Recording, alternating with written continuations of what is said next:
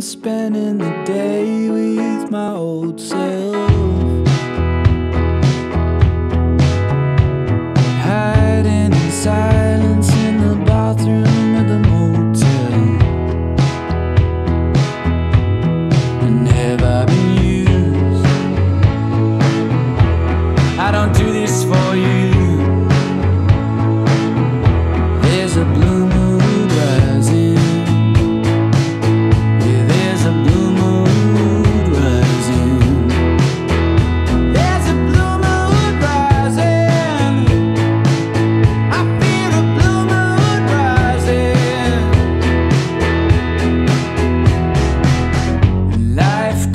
as the eye